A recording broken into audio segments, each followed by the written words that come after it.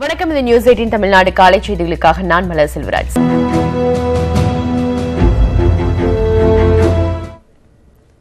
பேரறிவாளன் உட்பட ஏழு பேரையும் விடுதலை செய்வதற்கு ஆளுநர் பன்வாரிலால் புரோஹித் தமிழக அமைச்சரவை பரிந்துரை செய்துள்ளது.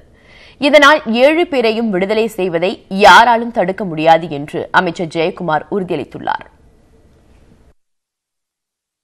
முன்னாள் பிரதமர் ராஜீவ்காந்தி கொலை வழக்கில் தண்டிக்கப்பட்ட பேரறிவாளன் நளினி முருகன் சாந்தன் உட்பட ஏழு பேரும் கடந்த இருபத்தி ஏழு ஆண்டுகளாக சிறை தண்டனை அனுபவித்து வருகின்றனர். இந்நிலையில் இவர்களை விடுதலை செய்வதில் தமிழக அரசு தன்னிச்சையாக முடிவெடுத்துக் கொள்ளலாம் என அண்மையில் உச்சநீதிமன்றம் தீர்ப்பளித்தது.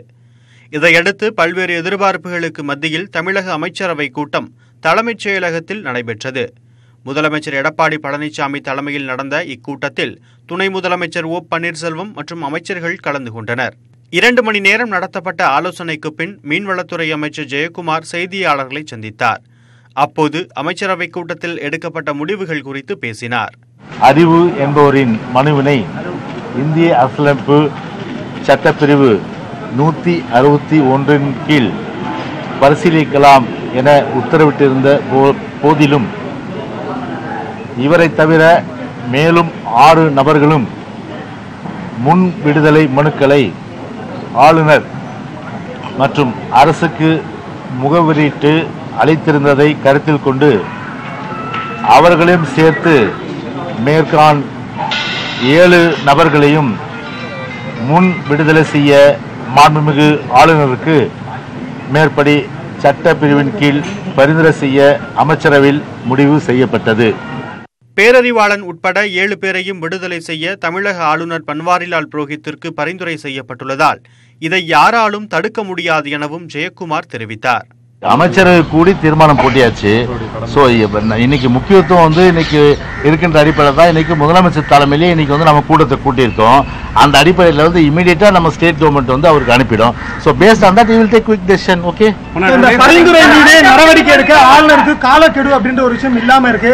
அதெல்லாம் வந்து இட்ஸ் மேண்டேட்டரி கண்டிப்பா பண்ணி தான் இல்ல, அவருடைய தனிப்பட்ட அதிகாரத்துக்குள் தம அரசு செய்ய முடியுமா அவருடைய தனிப்பட்ட அதிகாரத்துக்கு காலதாமதப்படுத்துவதோ நிச்சயமா அதுல வந்து காலதாமதப்படுத்த வேண்டிய அந்த ஒரு சூழ்நிலை இல்லை. இதேபோல சென்னை சென்ட்ரல் ரயில் நிலையத்திற்கு எம்ஜிஆர் பெயரை சூட்ட வேண்டும். முன்னாள் முதல்வர்கள் அண்ணா மற்றும் ஜெயலலிதா ஆகியோருக்கு பாரத ரத்னா விருது வழங்க வேண்டுமென மத்திய அரசை வலியுறுத்தியும் அமைச்சரவை கூட்டத்தில் தீர்மானங்கள் நிறைவேற்றப்பட்டதாக அமைச்சர் ஜெயக்குமார் தெரிவித்தார். பேரறிவாளன் உள்ளிட்டோரை விடுதலை செய்ய ஆளுநருக்கு பரிந்துரை செய்த தமிழக அரசின் முடிவுக்கு ஏழு பேரின் குடும்பத்தினரும் அரசியல் கட்சித் தலைவர்களும் வரவேற்பு தெரிவித்துள்ளனர். பேரறிவாளனின் தாயார் அற்புதம்மாள் முதலமைச்சர் எடப்பாடி பழனிசாமியை அவரது இல்லத்தில் சந்தித்து தமிழக அமைச்சரவை கூட்டத்தில் எடுக்கப்பட்ட முடிவுக்கு நன்றி தெரிவித்தார். தொடர்ந்து செய்தியாளர்களை சந்தித்த அவர் தமிழக அமைச்சரவையின் தீர்மானம் தனது இருபத்தி எட்டு ஆண்டு கால வேதனையை முடிவுக்கு கொண்டு வந்துள்ளதாக கூறினார். இருபத்தெட்டு ஆண்டு கால போராட்டம் எப்படி முடியும் அப்படின்னு தெரியாம நாங்க அல்லாடிட்டு இருந்தோம். ஏன் நான் இந்த வீதிக்கு வரும்போது நாற்பத்தி மூணு வயசு இன்னைக்கு எனக்கு எழுபத்தோரு வயசு. என் மகனுக்கு பத்தொன்பது வயசு உள்ள போகும்போது இப்போ நாற்பத்தி ஏழு வயசு என் குழந்தைக்கு. வயசு இளமை எல்லாமே போச்சு அவன் வாழ்க்கையெல்லாம் போச்சு. இருந்தாலும் இன்றைக்கி ஒரு நிம்மதி இருக்குது எனக்கு. நிச்சயமாக அந்த வயசான காலத்தில் இந்த அம்மா பேரை சொல்லிட்டு இருந்த இந்த அரசு எடப்பாடியார் அரசு என் பையனை கொண்டு வந்து என்கிட்ட சேர்க்க போகிறாரு அப்படின்ற ஒரு நிம்மதி எனக்கு இப்போ கிடைச்சிருக்கு. இதில் ஒரே ஒரு வேண்டுகோள் தான் வைக்கிறேன். யாரும் தயவு செய்து இதை அரசியல் ஆக்காதீங்க. அரசியல் பண்ணிடாதீங்க.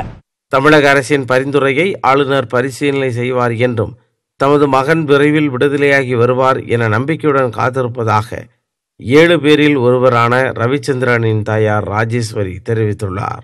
கூடிய சீக்கிரம் என் மகன் வீட்டில் விரைவில் வருவான் என நம்புகிறேன்.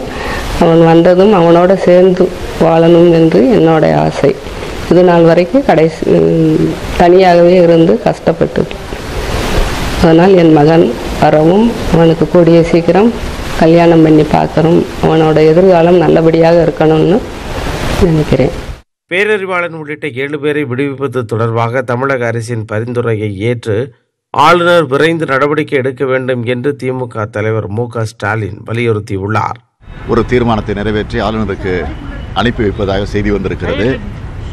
எனவே உடனடியாக தமிழக ஆளுநர் அவர்கள் அதை நிறைவேற்றக்கூடிய வகையில் குறிப்பாக தமிழக மக்களுக்கு மகிழ்ச்சி அளிக்கக்கூடிய வகையில் அதை நிறைவேற்றி தர வேண்டும் என்று திமுக கழகத்தின் சார்பில் நான் கேட்டுக்கொள்கிறேன். இந்த விவகாரத்தில் ஆளுநர் நொடி பொழுதும் தாமதிக்காமல் நடவடிக்கை எடுக்க வேண்டும் என அம்மா மக்கள் முன்னேற்றக் கழக துணை பொதுச் செயலாளர் டிடிவி தினகரன் வலியுறுத்தியுள்ளார்.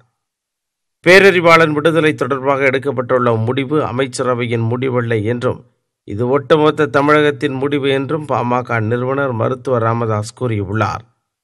இதேபோல் விடுதலை சிறுத்தைகள் கட்சி தலைவர் திருமாவளவன் சட்டமன்ற உறுப்பினர் தமிமுன் அன்சாரி தமிழக தேசிய முன்னணியின் தலைவர் பல நெடுமாறன் உள்ளிட்டோரும் தமிழக அரசின் தீர்மானத்திற்கு வரவேற்பு தெரிவித்தனர். இதனிடையே சட்டம் எல்லோருக்கும் பொதுவானதுதான். ஆனால் சிலரை விடுதலை செய்வது தவறான முன்னுதாரணங்களை ஏற்படுத்தும் என தமிழக காங்கிரஸ் கமிட்டி தலைவர் திருநாவுக்கரசர் கருத்து தெரிவித்துள்ளார். ஆளுநர் என்ன செய்கிறாருன்னு பார்ப்போம். ஆளுநர் மத்திய அரசுடைய பிரதிநிதி.